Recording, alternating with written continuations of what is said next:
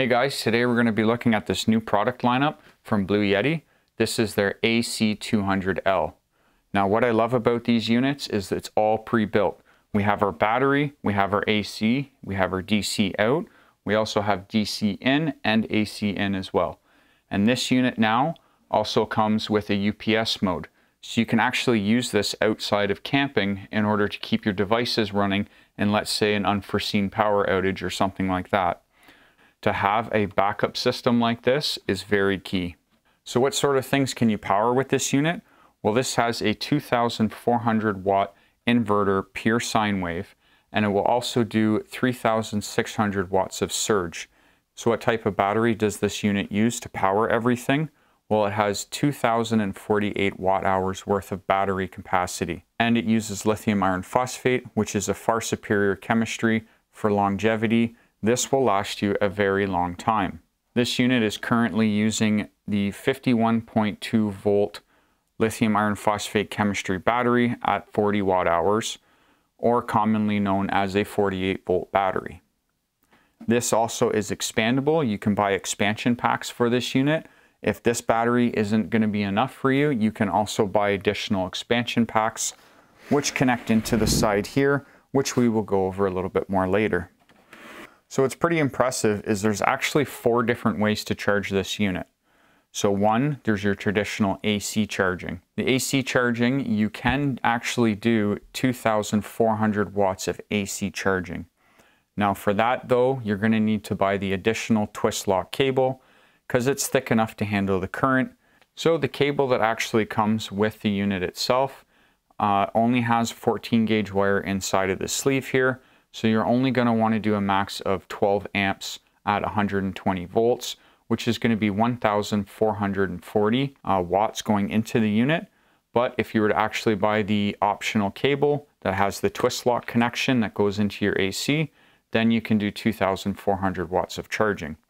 Now in the app, you can change the charging level.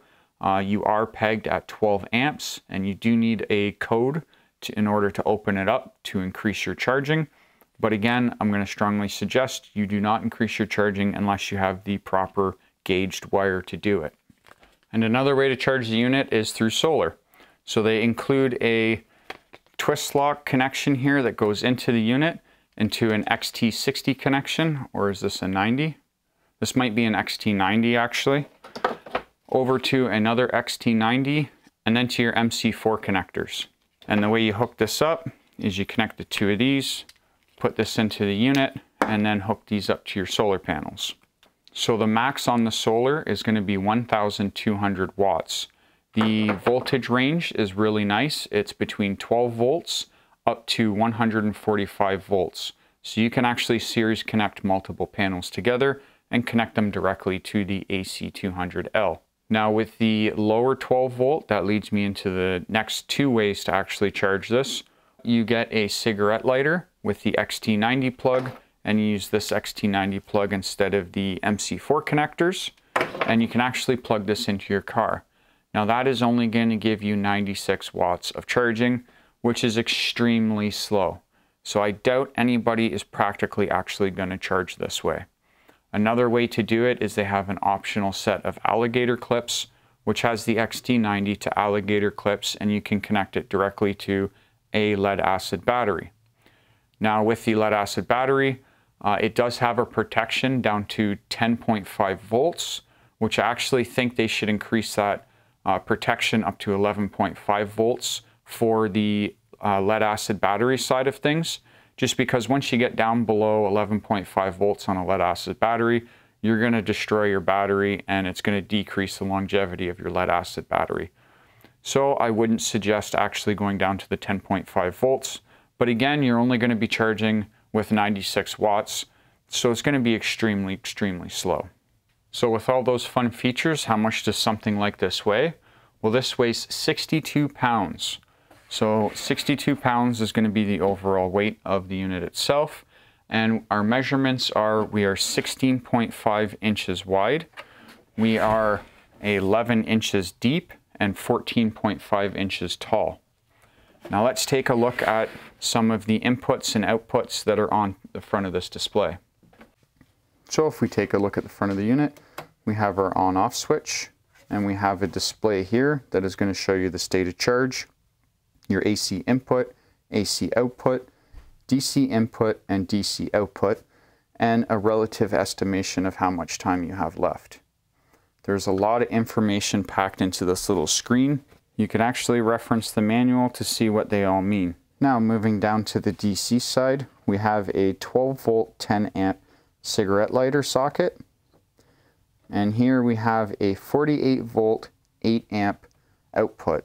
Now this is interesting. Not sure what you'd use it for. I don't know of too many 48 volt off-grid or camping type equipment.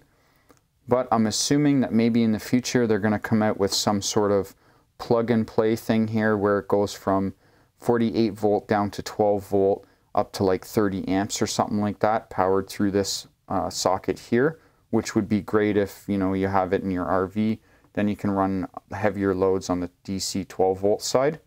Here we have USB type C 100 watts. This is going to be great for charging any type of laptops or any kind of smartphone that can handle that type of current.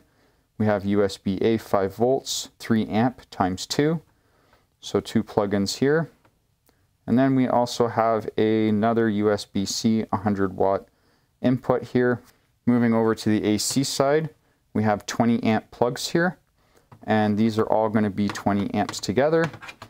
And then what's really neat is we actually have a TT30 plug.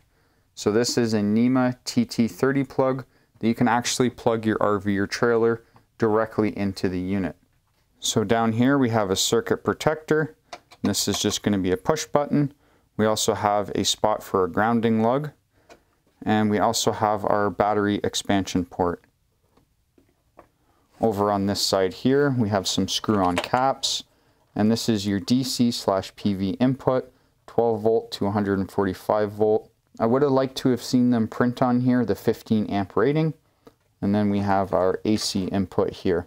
What's very nice about all their connections too is that they can only be connected one way. So there's no chance of you actually plugging in either the AC or the DC the wrong way. They all have little notches inside of here and you can only plug them in in one direction. So there's no issues with the wrong polarities when you're doing your connection. So I've actually been testing this out. I've had this unit for a few weeks now and I've actually been running different various tests on it and I'll show you a way that I've had it connected for the last few weeks. So here in my utility room, both my furnace and my hot water are on natural gas and they both have blower motors in them. This unit has been able to handle the surge capacity of the motors without any hiccups.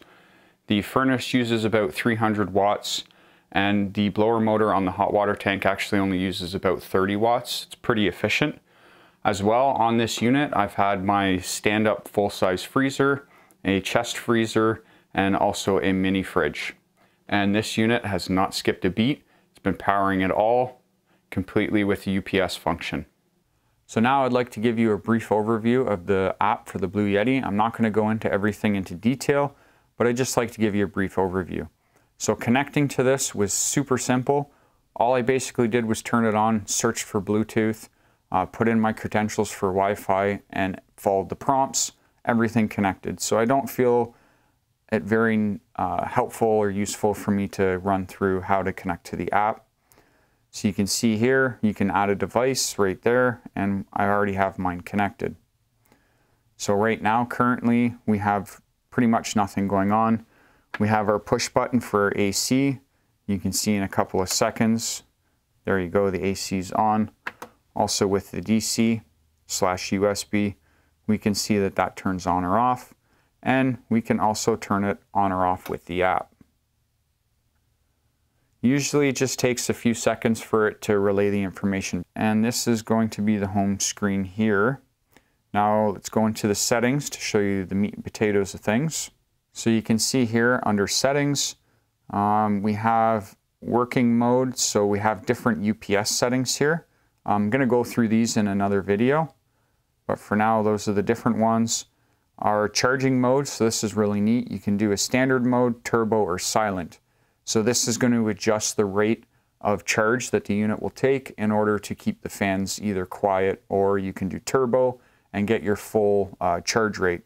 So if you get this unit, plug it in, and you're not seeing it charging the full 12 amps or 1,440 watts, uh, then I would head over here and check and just click on turbo mode, and then you'll get the full power.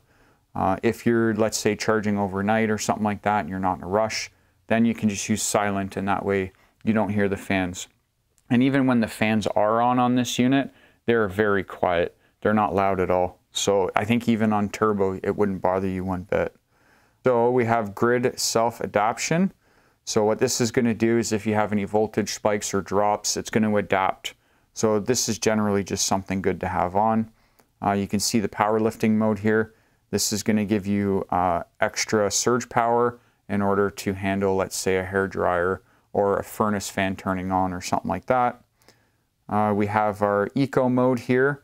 So as you can see, because I've been using this as a UPS and it, my fridges and furnaces and freezers do not continuously run all the time. There are dead times. So I don't want this to turn off, um, let's say during like a slow time when nothing's on. I always want my AC to be on. So I actually had this turned off, but you can see here, you can set the different hours. Like if there's nothing being run for four hours, then the AC is going to shut itself down to conserve power. You can even set at what watts you want that to. So if I go below 10 watts uh, for four hours, then it'll shut itself down. But because I'm using this as a UPS, I don't want the AC ever to shut off unless I tell it to shut off. So I just turn that off. Next, auto sleep. This is going to be for the screen. Uh, for the recording, I put this on never, but typically I put it on five minutes. And once the screen goes black, I can press any of these buttons up here and it will turn the screen back on without changing or turning anything on. And you can see here on the DC input source, we have self-adaptive, PV, or other. Now the self-adaptive, that will distinguish between if it's a lower DC rated, uh, like a 12 volt battery, or if you're actually producing solar. PV or other. Other is typically what you would select if you're doing cigarette lighter or 12 volt battery. Uh, you could just keep it in self-adaptive and then it'll just figure itself out. I'm keeping mine on PV because I actually have an array and which is very interesting. Um, a lot of questions with MPPT solar charge controllers is what's the minimum voltage for an array. So currently I'm right around 40 volts, which is actually less than the rated voltage of the battery, which is nominal 51.2. So what is actually happening is it's boosting the voltage in order to take a charge. And I haven't had any issues. Um, I've been somewhat charging with solar, mostly just in the UPS function. But I've been supplementing with solar, which is going to reduce my, uh, my overall electrical bill in the long run. So that is the app there. So yeah, that was a brief overview of the new AC200L. Uh, let me know what you think. Uh, I have a couple more videos I want to make on this. I need to test some different features and make sure they're working properly in order to show you guys how to get the full use out of this unit. Is this something you'd think about buying? Or what are your thoughts on this new lineup? And as always, thank you very much for watching. Bye.